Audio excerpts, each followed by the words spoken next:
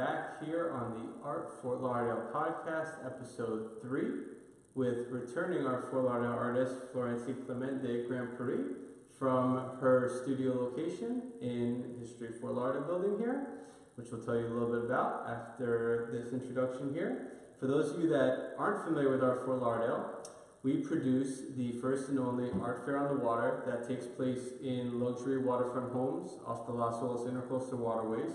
We make the only mode of transportation via boat, so it's a different uh, way to view and interact with art. Uh, seeing art in homes in the setting where art ultimately lives, um, and having a wonderful discovery journey along the famed Las Olas Intercoastal Waterways makes for a, a true Fort Lauderdale experience and something we're very uh, proud and excited to bring to the community for the third consecutive year here. So the goal of the podcast is to connect you with the talented, amazing artists like her that make the fair great. Uh, so for those of you that don't know Florencia, uh, tell us a little bit about yourself, your story, and how you got to where you are today. Well, hello. I'm so excited to be here. Thank you for having me. My pleasure. And my name is Florencia. I was born and raised in Spain, but I've been here for the last 14 years. My mother's American, French Italian father. And how did I get into art? Well, I started painting. I've always painted, technically always painted, that's what I say, but officially, about four years ago, I'm self taught. And I used to work in interior design, so a lot of my materials come from there because I recycle wallpaper, fabric samples, I incorporate into my paintings, and I mainly paint women. I'm trying to project a positive image of women, and what better than to paint strong, elegant, confident women. So that's basically what I do. And for those that can see but maybe aren't 100% uh, sure about what they're looking at, why don't you tell us a little bit about actually what goes into these pieces here? So the background, and not in this one, this one's painted, but in this one, for example, which is my first painting ever, her name is Athara, they all have names, is uh, collaged wallpaper samples. The headdress and the jacket are fabric samples, and I paint everything that's uh, hair and flesh beforehand, and then apply the other materials. I paint in acrylics and in oils. How about that? And how long would you say a piece like this takes you? On average, a month, month and a half, even depending Oh, wow. on yeah how intricate it is. I I spend. a train going by. We'll just wait for the train to go by. Good train. Is it Brightline? Have you been on Oh, it's quick, it's quick. It's good. um, it takes it takes that long because half of the time is painting and half of the time is deciding what materials to put into this.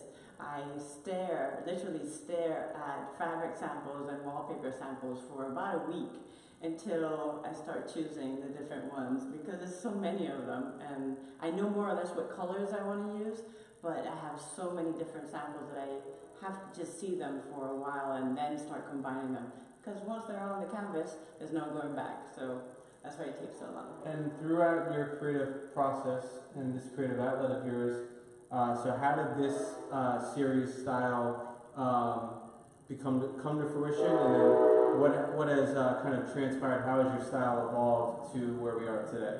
Okay, well, these are two of my first. In fact, my first two. Oh wow! Yes, this one was my very first. This one's second. and This Okay. one's Bruna. This one's Athara.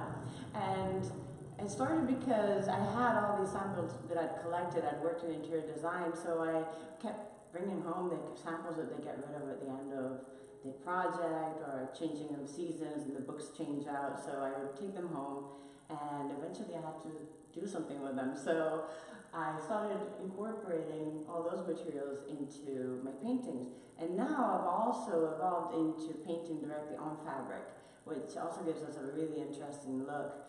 Um, I don't have them here, and I will have some in Art Fort Lauderdale uh, in January, this next one, and I did have some in the last one as well. But these are the ones where I apply the materials to the canvas rather than painting directly on the fabric. So it, it's, it's more about fabric and texture and color and, and always working with that because I think that's what makes it different and interesting to look at. Definitely different and interesting to look at. And mm-hmm. what would you say has been your most noteworthy piece that has garnered the most attention? well, I have several, but I think the most noteworthy piece is the tribute that I did for Michelle Obama. I did it last year in uh, 2008 and 17. Um, I did it because they were leaving the White House, and I thought, well, it would be a nice, a nice thing to do, a tribute to someone that I admire. So I did this painting of Michelle Obama, and I happened to post it on Facebook in this January in the Michelle Obama fan club. And I thought, well, these people would be interested in seeing this, and I didn't think much other of it. And so I posted it on there, and I got quite a few likes from that post at that time. But then a month later, they posted their, or they they showed their piece that they had for the Smithsonian, the one that they that they had uh, other Yeah. artists do as their official portraits. And people went back to my post because they remembered mine and liked mine and started liking it and sharing it. And long story short, I have 78,000 likes on that post and I think 57,000 shares on it. So it kind of. And um, where is that piece now? That piece is still in my house. I'm Oh. guarding it because I'm offering it to her. I'm waiting to hear back from her. I sent her a nice little package with a reproduction of it to say, I have this piece.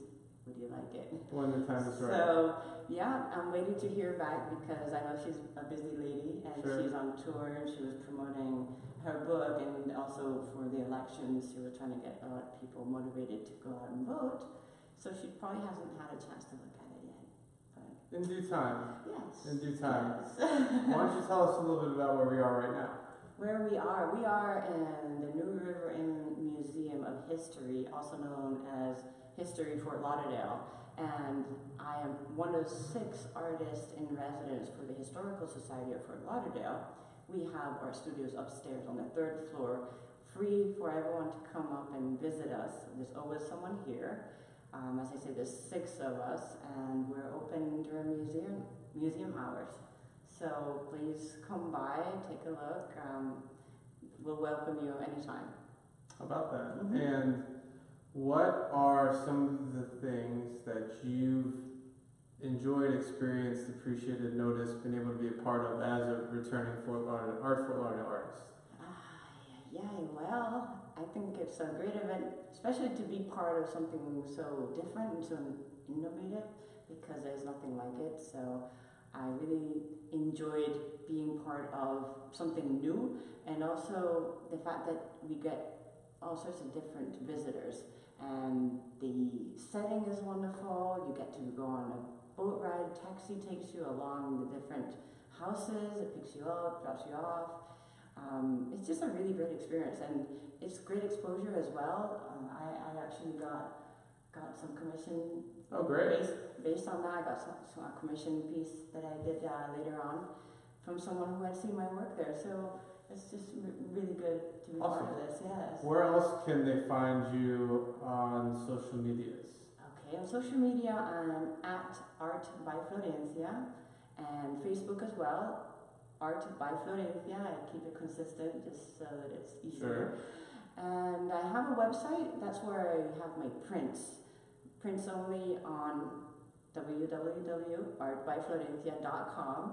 But if you want to see my artistic adventure and follow works in progress, what I'm up to, where I'm going to be, I'd say go onto my Facebook and my Instagram, Art by Florencia. Awesome. Mm-hmm. And you can find Florencia and her works at the third annual Art Fort Lauderdale, the Art Fair on the Water, January 24th through the 27th. Tickets and more information can be found at www.artftlauderdale.com.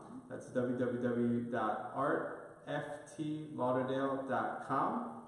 Uh, you can also find Florencia here at the New River Inn, otherwise known as History Fort Lauderdale. They would definitely welcome you here. They got a beautiful uh, symbol art exhibition running through the end of January, right at the end of Fort Lauderdale Art and Design Week, which is the newest edition that we've created out of the evolution of Art Fort Lauderdale uh, to create a week full of discovery, satellite, uh, satellite exhibits and satellite events, artist talks, panel discussions, after parties, pop-up dinners, So many things. yeah, art walks that week. The last yes. two days in Hamilton happened to be that week. So, yeah, how about that? I'm going on Wednesday with my mom. nice. So um, you can find that at Fort Lauderdale Art and Design Week, uh, otherwise known as FTLADW for short. If you have any questions, you can reach out to me, Evan Snow. I'm an open book at Evan Snow 13 on Instagram or Facebook, or you can find my email on the website. Uh, we'd be glad to answer any questions you have have you join us and have you support some of our most talented local artists like Florencia. And we definitely appreciate you guys tuning in today on the Art And I do commission work too, so if you have anything in mind, anything you'd like done, this is one of my styles. The other one I talked about was on the fabric, but anything, it could even be small portraits, whatever. I'll she can make you. your she can make your wife look beautiful like this too. Oh, but they wouldn't have married them if they weren't Eh. beautiful already. Come on. Cheers. Good stuff.